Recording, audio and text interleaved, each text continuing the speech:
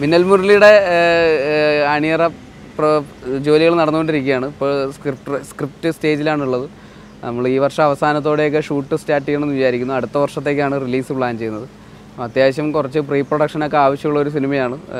അതൊരു super hero ജോണറിൽ വരുന്നൊരു സിനിമയാണ്. അതുകൊണ്ട് അതിന്റേതായ കുറച്ച് വി എഫ് വർക്കുകളും ആക്ഷൻ സീക്വൻസുകളും ഒക്കെ ഉണ്ട്. അപ്പോൾ അതുകൊണ്ട് അത് അത്യാവശ്യം നല്ല രീതിയിൽ പ്രീ പ്രൊഡക്ഷൻ നടത്തേണ്ട ഒരു സിനിമയാണ്. അപ്പോൾ ഏകദേശം അഞ്ചാറ് മാസത്തോളം പ്രീ പ്രൊഡക്ഷൻ തന്നെ ആവശ്യമുണ്ട്. സ്ക്രിപ്റ്റ് റൈറ്റിംഗ് സ്ക്രിപ്റ്റ് കംപ്ലീറ്റ് ആയതിനു ശേഷം. അപ്പോൾ അതുകൊണ്ട് ഈ സിനിമയ്ക്ക് ശേഷം മിന്നൽ മുരളിയുടെ ജോലികളിലേക്ക് പൂർണമായിട്ട് ഇരിക്കാനാണ് പ്ലാൻ ചെയ്തിരിക്കുന്നത്. അല്ല സ്ക്രിപ്റ്റ് ഇപ്പോൾ പുതിയതായിട്ട് രണ്ട് പേരാണ്. ഒരാൾ പടയോട്ടം എന്ന് പറയുന്ന സിനിമയുടെ കോ റൈറ്റേഴ്സിൽ ഒരാളാണ്. അരുൺ എന്ന് പറഞ്ഞിട്ട്. പിന്നെ പുതിയ ജസ്റ്റിൻ മാത്യു എന്ന് പറഞ്ഞിട്ട് പുതിയൊരു ഒരു ഒരാളും കൂടിയാണ്. ഇവർ രണ്ടുപേരുമാണ്. പിന്നെ ഞങ്ങളും ഒരുമിച്ചിരിക്കും. അവരുടെ അവരാണ് എഴുതുന്നത്. റൈറ്റേഴ്സ് അവരാണ്. സംവിധായകരാകുന്നു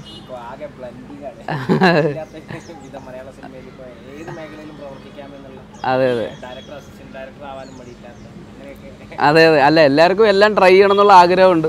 എല്ലാവർക്കും ഇപ്പോൾ അഭിനയിക്കുന്ന ആൾക്കാർക്കും ഒരു പോയിന്റ് കഴിയുമ്പോൾ എനിക്ക് തോന്നുന്നു സംവിധാനം ചെയ്യുന്നതിനെ കുറിച്ച് ഭയങ്കര എക്സൈറ്റ്മെന്റ് തോന്നുന്നു തോന്നുന്നു.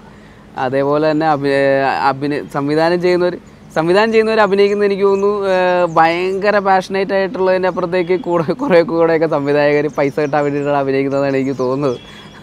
ഇപ്പം ഞാൻ സംസാരിച്ചിട്ടുള്ള എല്ലാ സംവിധായകന്മാരും അത് തന്നെയാണ് എന്റെ അടുത്ത് തുറന്നു പറഞ്ഞിട്ടുള്ളത്. അപ്പോൾ അതുകൊണ്ട് അത് ആ ഇങ്ങോട്ടുള്ള ചാട്ടം എന്തിനാണെന്ന് എനിക്കറിയില്ല. പക്ഷേ അഭിനയിക്കുന്ന ഒരു സംവിധായകരാകുന്നത് ചിലപ്പോൾ ഒരുപക്ഷെ സംവിധാനം ചെയ്യാനായിരിക്കാം അവർക്ക് കൂടുതൽ ഇൻട്രസ്റ്റ് പക്ഷേ അത് ഇങ്ങോട്ടേക്ക് എത്താൻ പറ്റാത്തതുകൊണ്ട് അവരാദ്യം അഭിനയിച്ച് പിന്നെ അവിടെ നിന്ന് മെല്ലെ മെല്ലെ അതിലേക്ക് എത്തിയതായിരിക്കാം. എല്ലാവരും ഇപ്പോൾ എഡിറ്റർമാർ സംവിധായകരാവുന്നുണ്ട്. അങ്ങനെ എല്ലാ ഫീൽഡിൽ നിന്നും എല്ലാവരും എല്ലാം ചെയ്യുന്നുണ്ട്. നന്ന നല്ല സിനിമ എടുക്കുക എന്നുള്ളതാണ് എൻഡ് ഓഫ് ദ ഡേ ഇതിന്റെയൊക്കെ ലക്ഷ്യം എന്ന് പറയുന്നത്. അത് വർക്കൗട്ടായാൽ എല്ലാം ഓക്കെയാണ് ഇത് എല്ലാവർക്കും എന്തും ചെയ്യാം. അത് എല്ലാവരുടെയും ഓരോ ആഗ്രഹങ്ങളല്ലേ. എനിക്ക് തോന്നുന്നു മലയാള മുമ്പൊക്കെ അല്ലെങ്കിൽ പരീക്ഷിച്ചിരുന്ന ഒരു ജോണറായിരുന്നു ഒരു ഫാന്റസി എന്ന് പറയുന്നത്.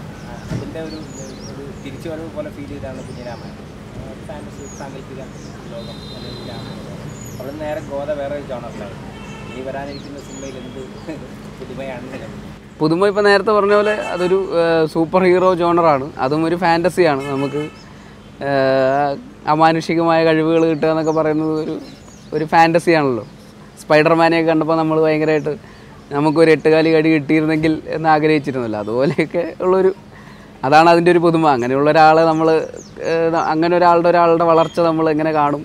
അയാളുടെ ഒരു ഒരു ക്യാരക്ടറിന്റെ ഒരു പോക്ക് എങ്ങനെയാണ് എന്നൊക്കെയുള്ള അതിന്റെ പിന്നെ വിഷ്വലും ഒക്കെ ആൾക്കാരൊക്കെ എന്റർടൈൻ ചെയ്യാന്നുള്ളതാണ്. ഈ പറയുന്ന പോലെ സൂപ്പർ ഹീറോ ആകുമ്പോൾ അതിന്റേതായ കുറേ വി എഫ് എക്സും ആക്ഷൻ സീക്വൻസുകളൊക്കെ ഉണ്ട്. അപ്പോൾ അങ്ങനെയൊക്കെ കുറേ കുറച്ച് പണിയെടുക്കാനുള്ള ഒരു സിനിമയാണ്. അങ്ങനെ സിമ്പിളായിട്ട് അങ്ങ് പറഞ്ഞ് പോകാൻ പറ്റുന്ന ഒരു സിനിമയല്ല അത്. അപ്പോൾ അതിന്റേതായ ഒരു ചലഞ്ച് ഉണ്ട്. അതുകൊണ്ടാണ് അത് ആ സിനിമ നമ്മൾ ചെയ്യാനും പ്ലാൻ ചെയ്തത്. അങ്ങനെ ഒരു വെറുതെ ഒരു സിനിമ എടുക്കുന്നതിന്റെ അപ്പുറത്തേക്ക് എന്തെങ്കിലും ഓഡിയൻസിന് എന്റർടൈനിങ് ആയിട്ട് ഒരു തിയേറ്ററിക്കൽ എക്സ്പീരിയൻസ് കൊടുക്കാൻ പറ്റുന്ന ഒരു സിനിമ ചെയ്യണം എന്നുള്ള ഒരു ആഗ്രഹത്തിന്റെ പുറത്താണ്.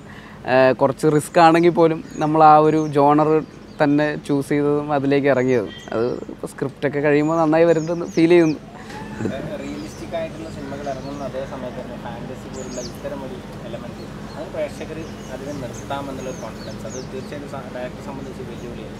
അപ്പം അതെങ്ങനെയാണ്? ഇപ്പോൾ റിയലിസ്റ്റിക് സിനിമകൾ ഭയങ്കരമായിട്ട് ഇഷ്ടമുള്ള ഒരാളാണ് ഞാൻ.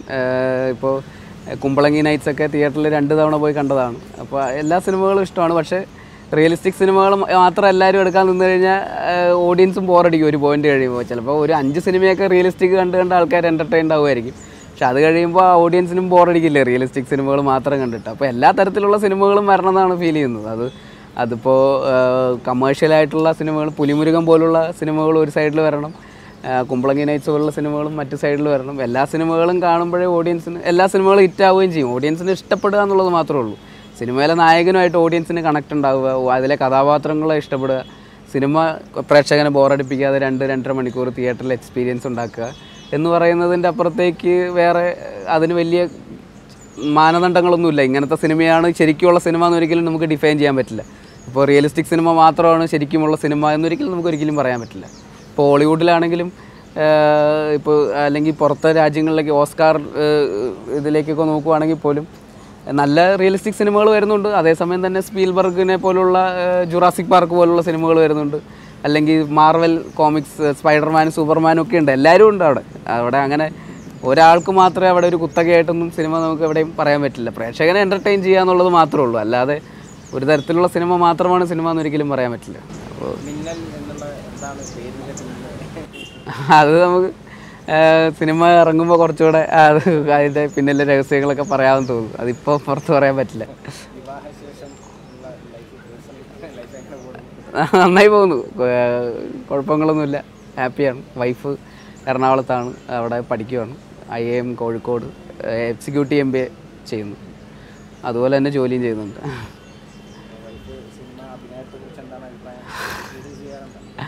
അഭിനയത്തിനോട് വലിയ കുഴപ്പമില്ല.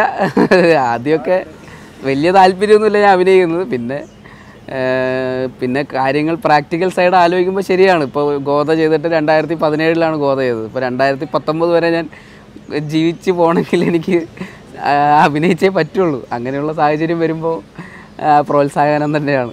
വേറെ കുഴപ്പങ്ങളൊന്നുമില്ല. അല്ലെങ്കിൽ വിമർശനമാണ് ഞാനിപ്പോൾ ഒരു കോടീശ്വരനായിട്ടൊക്കെ ഇരിക്കുകയാണെങ്കിൽ ചിലപ്പോൾ എല്ലാം ഇതിന്റെ ആവശ്യം എന്താണെന്ന് ചോദിക്കുമായിരിക്കും പക്ഷെ ഇപ്പോൾ കുഴപ്പമില്ല പൊക്കോ എന്ന് പറഞ്ഞിട്ടാണ് വിടുക. എല്ലാ മോട്ടിവേഷനും തരുന്നുണ്ട്. എങ്ങനെയാണ് ഈ ഒരു സിനിമയുടെ ബാക്കി ക്രൂ ഒക്കെ ഫിക്സ് ആയോ? അല്ലെങ്കിൽ അത് ബാക്കി നമ്മൾ അതിന്റെ ചർച്ചകളിലാണ്. അത് ക്രൂ ഒക്കെ ഗോതയിലേക്ക് തന്നെ ആൾക്കാരൊക്കെ തന്നെ ആയിരിക്കും. സിനിമാറ്റോഗ്രാഫി മ്യൂസിക്കും അങ്ങനെയൊക്കെ എല്ലാം അതൊക്കെ തന്നെ ആയിരിക്കും മിക്കവാറും.